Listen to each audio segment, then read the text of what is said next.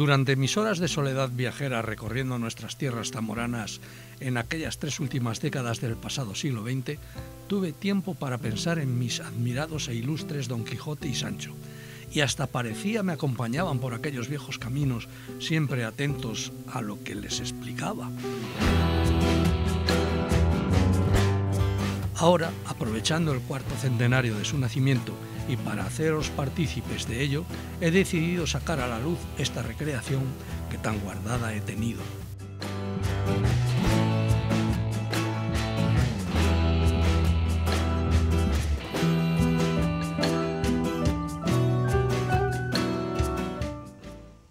Pues le damos la bienvenida a José Manuel García Rubio, nos acompaña un viernes más y el último ya. José Manuel.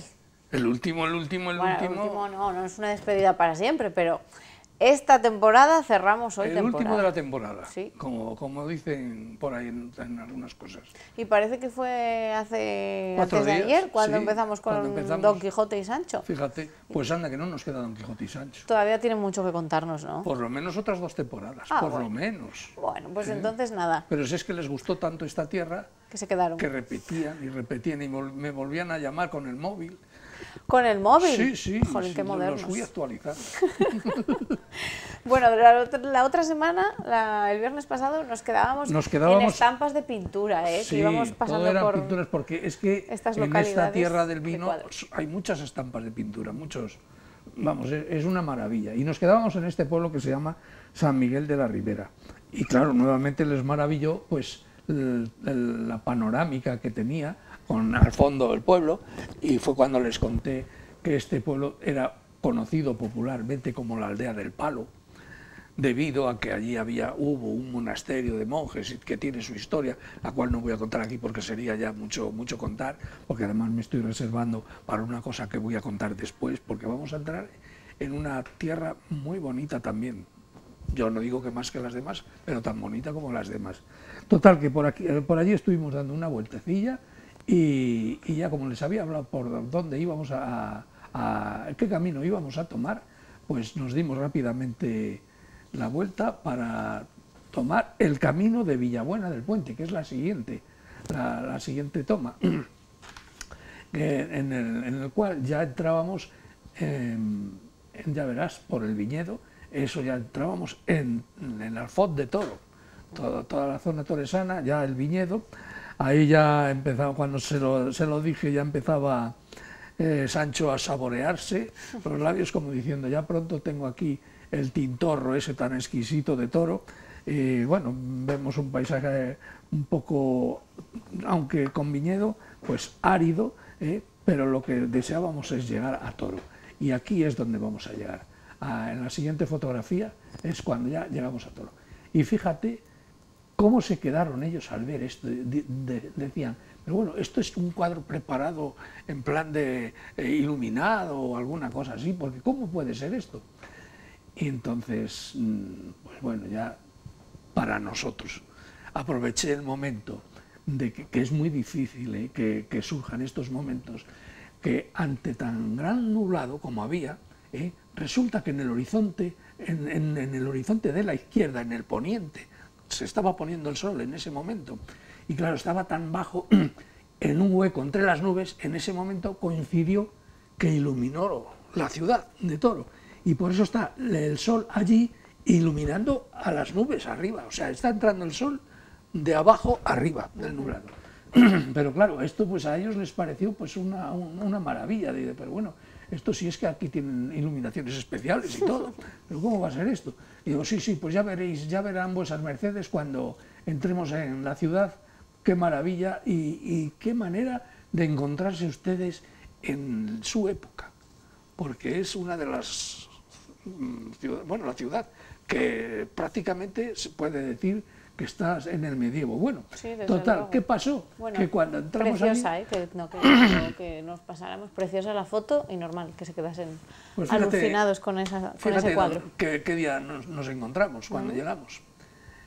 El día de las De la vendimia. de la vendimia, de la De celebración fiesta de de la vendimia, la fiesta de la vendimia, Qué con todos los carromatos allí cargados de, de uvas y de todo. Entonces ahí, ahí Don Quijote pues la verdad es que sin haberlo visto todo mm, bien a toro, no sé de dónde se sacó un papelote viejo ¿eh?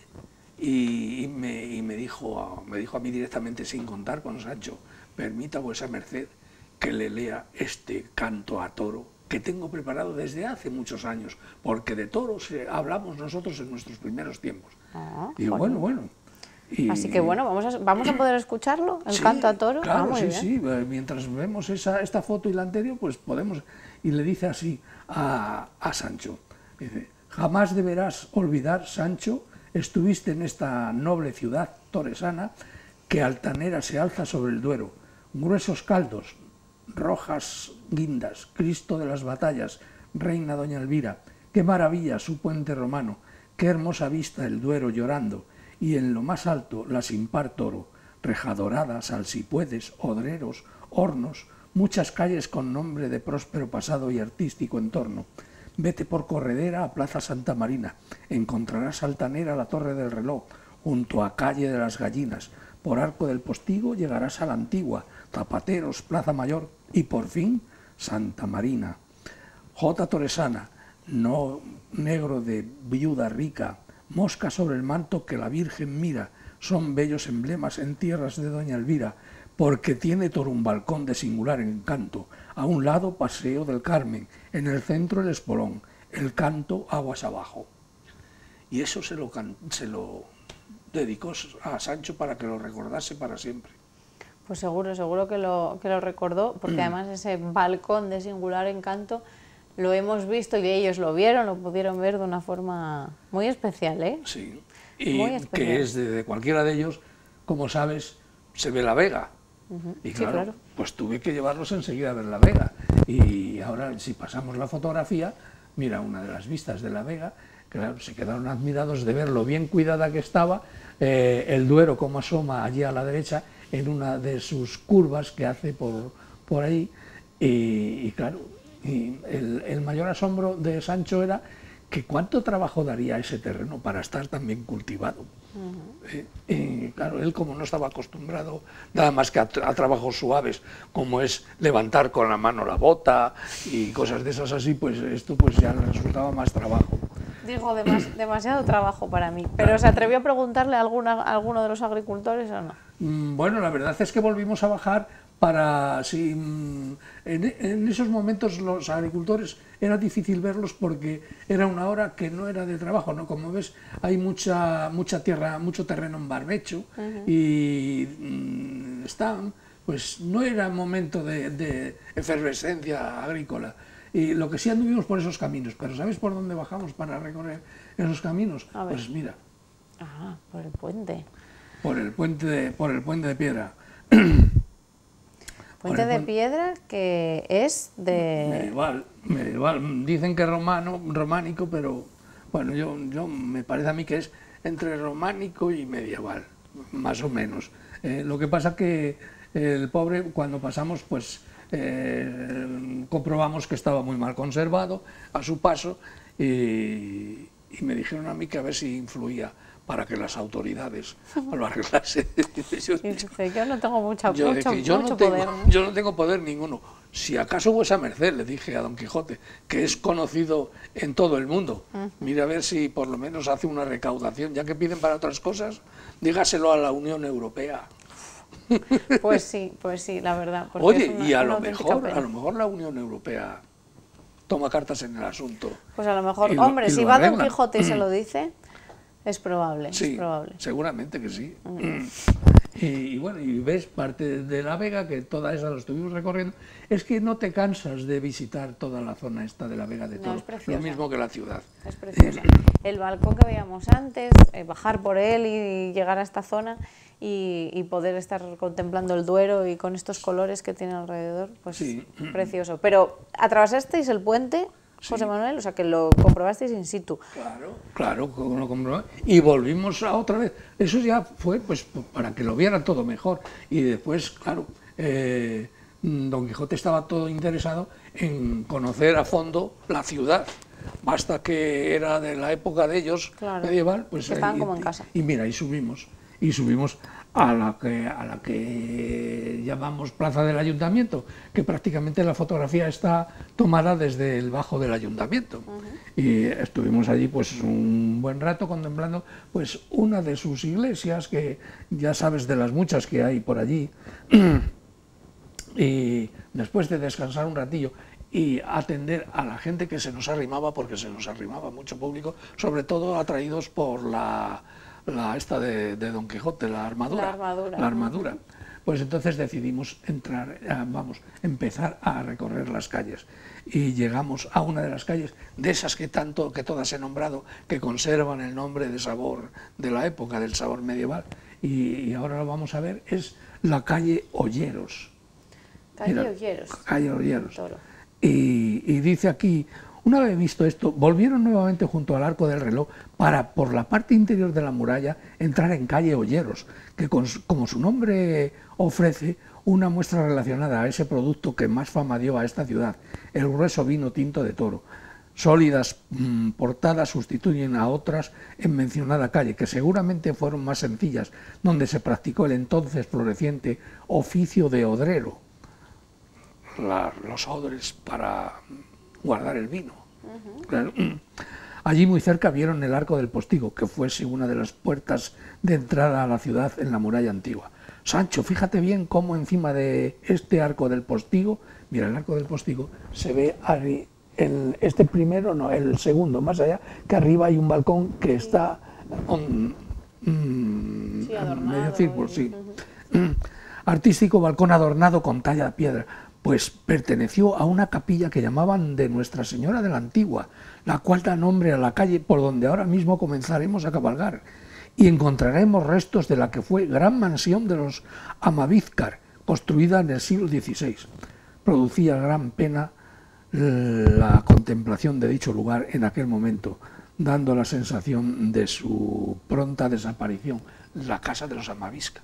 Eh, pero bueno, y así es que te da sensación de que, de que eso está todo, mm, no sé, pronto ah, tendiendo a desaparecer, pero yo creo que los toresanos no lo van a dejar desaparecer porque es uno de los patrimonios más ricos que tiene nuestra provincia.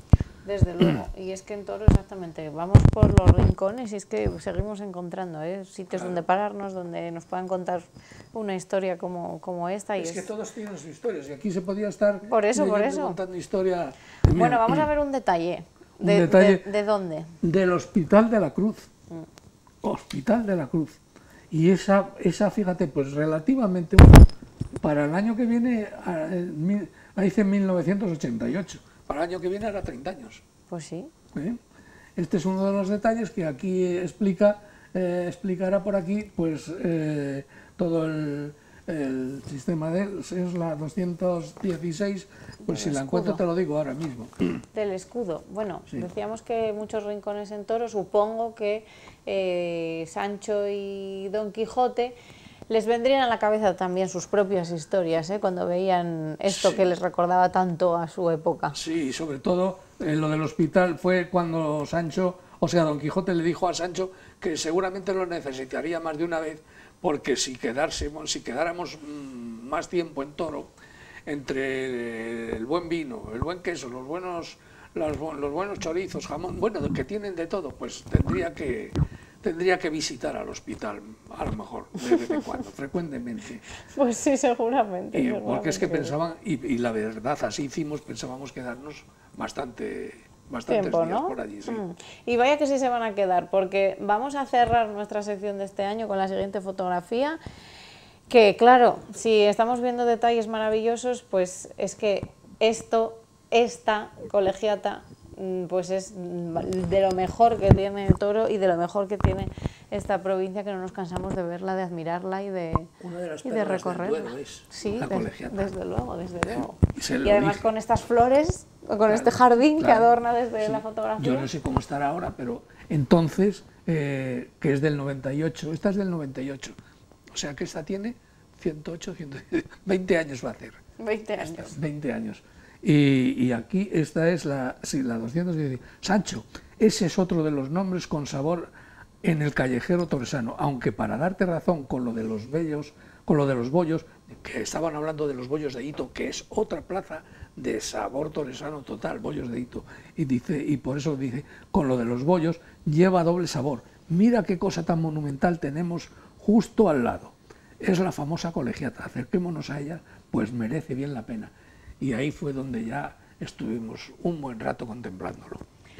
Bueno, pues con esta maravillosa postal cerramos nuestra temporada en Toro, también hemos cerrado temporada de nuestros pueblos en Toro y ah, precisamente por eso nos despedimos, sí, por eso nos despedimos hoy, José Manuel, porque yo no sé si has votado ya por tus pueblos favoritos, pero si no lo has hecho en nuestro concurso, que sepas que la semana que viene vamos a volver a pasarnos por ellos para refrescarnos la memoria y saber hacia dónde tiene que ir nuestro voto para ya elegir a, Yo ya lo tengo claro, a los dos pueblos. Y lo veré todo el reportaje otra vez, porque ya ves cómo me gusta eh, el tema.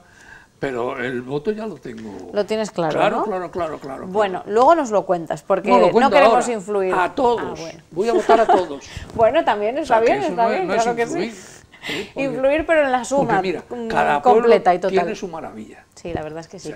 son maravillas distintas, pero cada uno tiene eso. Y es una pena que solo le tenga que tocar a uno. Pues sí, la verdad es que sí. Nosotros estamos muy apenados. Una pena que solo tengamos unos candidatos solo, los que hemos recorrido, y después que solo tengan que quedar uno de cada categoría para representar a Zamora, porque al margen de lo que tengan o no tengan, que evidentemente hay, hay, localidades que tienen muchísimo más patrimonio. por ver. Es la gente, la gente. Claro. Que nos, además nos han recibido ese es el primer premio. Claro que sí, claro como hemos ido viendo por algunos sitios donde hemos recorrido y hemos visto más gente, ese es el primer premio. Desde luego. y ese era nuestro objetivo, ¿eh? Dar a conocer eh, cómo son, cómo son los zamoranos de cada una de esas localidades.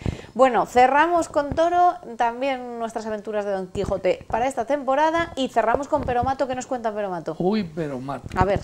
Pues tiene que ver mucho contigo. ¿Ah, sí? Sí. Uy, madre. Ya verás. Mira qué pregunta le hice. Que, ¿Qué era el periodismo? Uh. ¿Ves cómo si tiene que ver contigo? Sí, sí, sí, Pues mira lo que me contestó. Ha sido con Tertulio. Decía Mark Twain el periodismo es un oficio más divertido que jugar al billar, pero lo cierto es que esta profesión está cambiando con respecto a lo que fue. Ahora en muchos momentos parece una cacharrería revuelta con superficiales dimes y diretes, o cuando no, tomada por arregladores de la situación, entre comillas, en vez de dedicarse a entrevistar e informar. En cuanto a la llamada prensa del corazón, ya no sabe uno qué pensar. A lo mejor es que se prefiere escuchar esas majaderías antes de oír noticias serias donde barbaridades y abruptos campean a sus anchas. Pues sí, O sea que lo ha dejado arreglado al periodismo. Arreglado. Con Peromato lo arreglamos ya. En la temporada, el periodismo y todo. José Manuel, que pases muy buen verano. Lo mismo os deseo a todas y a todos. Volvemos pues la temporada que viene.